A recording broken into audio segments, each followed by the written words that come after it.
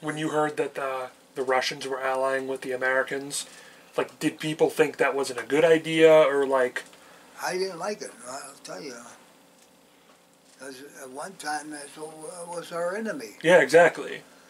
and because they uh, they signed up with the Germans First, and the Italians, yeah. and then Hitler turned on them, and they didn't have nowhere else to go, So and we needed an ally. So, Well, well, that was what what like like uh,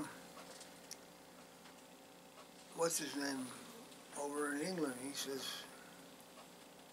he says there's a uh, Churchill. Churchill. Yeah, he says they took the lesser of the two evils. Yeah. And, Apparently, He- Stalin killed 40 million people of his own people. oh yeah. Yeah, the he Siberia, was- all the gulags and the all the- Siberian oh, prison yeah. camps and stuff like that. I'm not saying what Hitler did was good because it was awful, but Hitler killed or um, Hitler killed about 11 million, and Stalin killed like two, three times as much. Oh, Which man, is just it's just too much. it's much. weird death. that we chose him to ally with. And the War on two is- fronts. Yeah, well, that was that was the thing. It, we had to have an ally. Yeah, and it, it helped because it was also on the west instead of war on two fronts. it needed to be a war on two fronts. Yeah. That's what Hitler was afraid of. He didn't want the war on two fronts. Well, that's what happened with them last in the first World War One. Yeah. They were all Like, that's why he didn't want that to happen. because he knew what happened in World War One, so he tried to ally with the Russians, but then he turned for some reason. That was dumb. Like I don't know. He did a lot. We watch a lot of the history show stuff, Oh yeah. and it talks about how he just does stupid stuff. He's like, "We'll do this," and then his uh, advisors are like, "I wouldn't recommend that." And he's like, "You're fired," and he fires them, and then he does yeah. things his own way. I mean, then like. I think they said around 1944 he took full command of Oh yeah. oh, full command of, of the, the army, army. and Oh, he yeah. he was, and I think it was when they were in Stalingrad or whatever. I can't Yeah. remember what year it was in. The but soldiers he took were- full. That's when he took full command of the army. So he was commanding on what rations, what soldiers, what supplies. the soldiers what were everything. begging to retreat out of Stalingrad because they were getting Oh, crushed, yeah. and he said, "No, die, fight and die." So then he took command of what goes in and out of Stalingrad, from everything from food to soldiers. And there were And it's like like, Hitler nine- doesn't he doesn't know anything. There were like that. nine survivors, which um, they said they were driving by in a car, and they were in a box car, and he was in like their, this luxurious train, and he looked over and he pulled the blinds down. Yeah, he pulled They were just sitting- Down. He was eating steak. Yeah, and all he was- And there were there were nine people over there He that said- survived the bloodiest battle on the their Germans. ger- Yeah. of their side. It was like Stalingrad was a slaughter fest, and he said they should have died He said the country. he said they should have turned the guns on each other and shot each other. rather than he said. rather than retreat. return, they should have killed each other. Well, that's that was the that was the Japanese thing too. They, Oh yeah, they they wanted- Suicide, honor Oh, suicide, yeah. Honor killings. But the ones that, that did surrender, they found out that it wasn't that bad. You know, being being a prisoner was a hell of a lot better than being with their. well because they were indoctrinated to Oh, think yeah. that they would be like well, I mean, in it's the, the Japanese thought Americans were literally the devil, so they they thought, thought they like, were gonna like turn them inside out. But in reality, it's like you're just in prison. Like it's, Yeah. yeah, they- they're getting good food. yeah, And they're, they're getting a place to sleep. yeah. You take now. That's one reason why the, the atomic bomb. We we dropped it on- on Hiroshima and Nagasaki because trying trying to A direct invasion would have been a slaughter oh fest. yeah They would It would have been awful. it would we would lose a lot of people So would they. and so would Oh, they. I mean, because that. you look at the Battle of Iwo Jima and how three thousand civilians killed themselves. They jumped to their death they didn't over the want to cliff. be. See, I had a, I had a cousin from Toledo, Ohio. He was he was uh, a Marine, and he was on the Tor- Tarawa. He was the survivor of Tarawa and some of the other islands. And uh, but he used to look down on me because I was in the army. and uh, he was, in other words, he was better than me. Yeah, Marines will do that. But yeah, and that was he was a. Take that off. You can keep going. You can keep going. It's Whenever It's he good. left uh, here, he had Do to. He had to thought that I was uh, equal with him. He, in other words, he changed his mind. He found out that uh, we. Uh, it does not out battery low. Make sure. the Marines weren't all that great. In other words, we were equal to them. Yeah. They always looked down at, them, at us. He looked down at, at me, you know, but he found out. Even my other buddy from uh, Toledo, Ohio, uh, Glenn Bryce. Glenn Bryce, he went and uh, he went uh, he was in the infantry, and he took him. Uh, when he was in the infantry, he was fighting uh, the tough parts of the war, by like hitting the Normandy and stuff. And uh, he found out my my uh, George took him also as an equal. he found out that just Marines just they're not the only ones. Matter Yeah. of fact, if they if they go into battle and they don't have enough men, that's their own fault. Yeah. I mean, in other words, they didn't have enough uh, backing them up. So you gotta have you gotta have the equipment and everything. So you did think the bombings of Hiroshima and Nagasaki were necessary? I I do I do because I think it saved a lot of their lives. Yeah.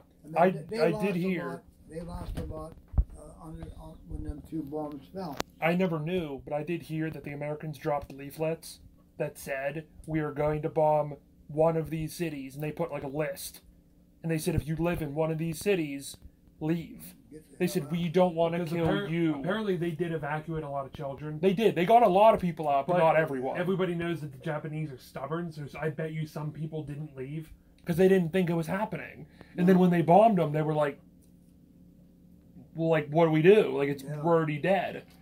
Now, that Marine I was telling you about, that George Herback, he uh, he survived at Tarawa, and but whenever he went to Jap, Jap, Jap he went to Japan. He was uh, this one day he was driving the colonel around, his uh, general around. He was, and the German the general wanted to see well, that that that's right time on. Hmm?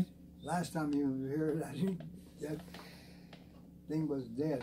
Oh, it's almost one. But he took and uh, so he took the general. The general wanted to go to ground zero at Hiroshima, and uh, my cousin George drove him down to ground zero.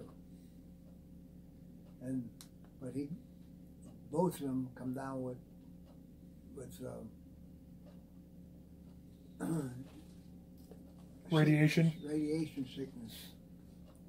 Now, when George come back, he had two daughters.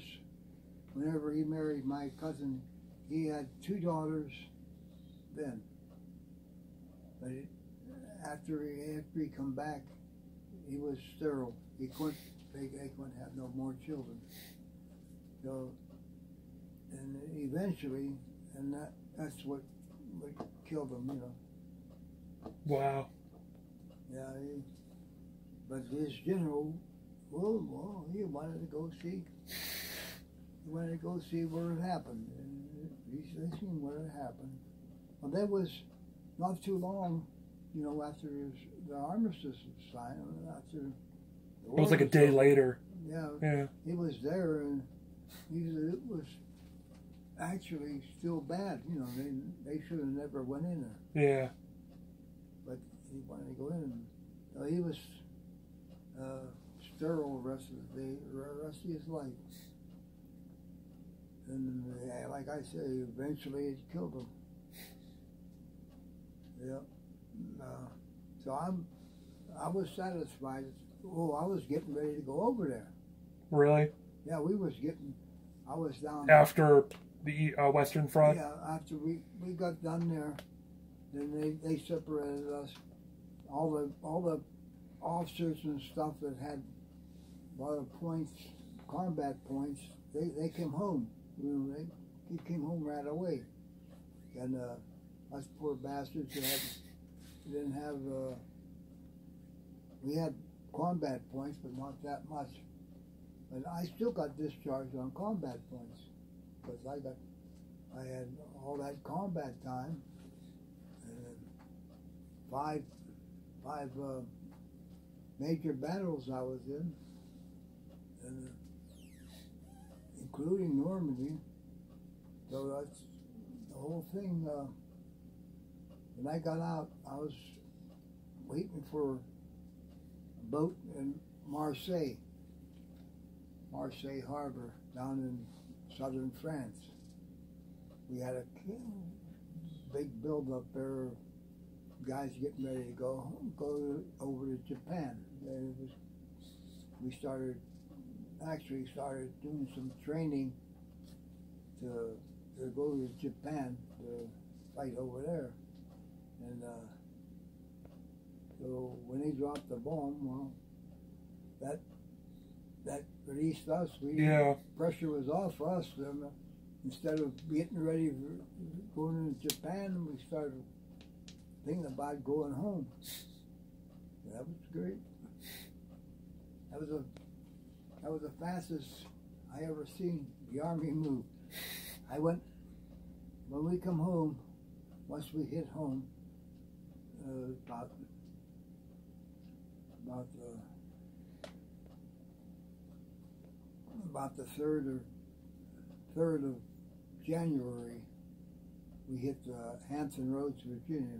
I was in a Liberty ship, and uh, even that Liberty ship, I was uh, on a. I was on a, we was on about 20, 27 days coming across the ocean. Sometimes it was in a storm. Sometimes we only traveled 300 miles or sometimes only 150 miles, just going up, bouncing around like a cork. Oh, man. Uh, You get oh, seasick? No, no, I don't get seasick. But my buddies did. Yeah. they, they got sicker than a damn dog. Oh, and I, they was trying to put me on KP, and I slept right in the kitchen. I mean, that was where, where my- you know, where, where my bunks was. We had three, three high stacks going up. They had the the the sea was so uh, tough that they had still about three quarter inch steel uh, straps holding the tables down. You had you sat didn't sit sit down eating. You always stood up eating, and you'd, you'd get over to the table and you put your plate down, and you have to wait. Over there, you you're, you're over this guy's food. For one minute, then you come over yours, you shovel like hell, then you get over here and there, you're over the next guy. and you're back over here. you know? And that's how bad the, the, the storm was. And um, there was, as wide as the table was, there was a, a box that had all the condiments in it. The sugar, ketchup, mustard, stuff like that, all the salt, pepper. And the, as, it- as you, you go this way, that thing would go. You go back and go. I said, I kept thinking to myself, I said, man, sooner or later damn thing gets to the end, it's going to bounce off, and they had an edge on, you know, on the table, and it did. but that's that's all the tables. They, then the damn straps that was holding the tables down, broke, and there was steel. I mean, big bolts and everything, and they they, they broke. Then they the sailors come in, the merchant marines. They come in with big hawsers, big big uh, big ropes, about that big around, and they had them holding the tying the table down, and they whenever they t- hold, um, tied the table down. Then, then you had your your your plate, I mean your tray, and you're trying to get get to the table. Excuse me. That's fine.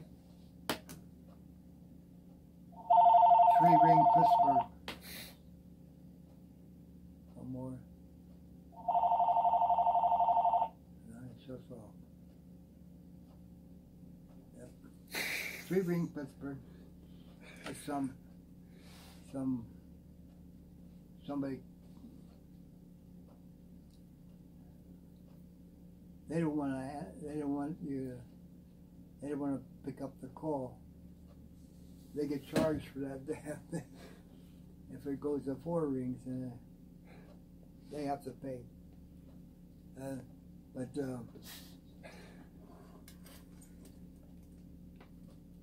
yeah, they uh, that boat. Now that storm was so bad that I'd go to the fantail back into the and I'd hold on to the hold on to the railing and I'd lean way over, and you can, uh, uh, you could see the propellers. You know, and half the time the propellers is out of the water. Water is dripping off the propellers. You can see they're just fanning in the air. Then all of a sudden it goes down and then the, water comes all the way up to where your feet is practically. Then all of a sudden it drops like a ton of bricks. It just falls away like a big cave. And you look over there, you can see them damn propellers coming out again. But that's the way it was all the way across. In Hampton, we finally got we and our we come through the Bermuda Triangle, and we damn near lost the propellers. The curse is true. They, they got they got they got uh, loose, and boy, vibrate. This ship would vibrate like hell. So finally, we limped up to Hampton Roads, Virginia, and that's where we got disembarked. They took them, and they took us off the ship. We carried all our bags and baggage off the ship, and they took us, put us in the barracks. Then they marched us over to the mess hall. And you never seen so much food in all your life. Even ice cream, everything they had, everything. What we call re-upping food. oh man, if you wanted steak, you got steak. No matter what you wanted, they they ask you what you wanted, and you tell them what you what you wanted, and as much as you wanted. That's awesome. Oh, yeah, re-upping food. Yeah, it was stuff that you didn't get overseas, and they had they had gallons of milk.